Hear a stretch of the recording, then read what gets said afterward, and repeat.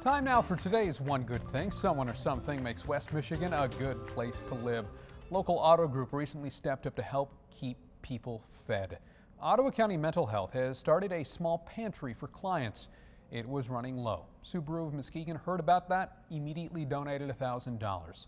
General Manager Mike Kaffenberger says those struggling with mental illness have enough to deal with.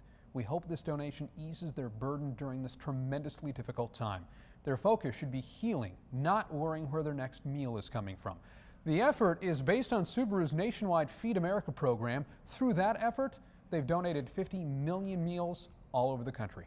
Subaru of Muskegon and the My Auto Group get today's One Good Thing for helping out Ottawa County Mental Health's food pantry. If you have a one good thing you'd like to submit, someone or something makes West Michigan a good place to live, email me, email me with your photos and or video to onegoodthing at 13onyourside.com. One good thing at 13onyourside.com.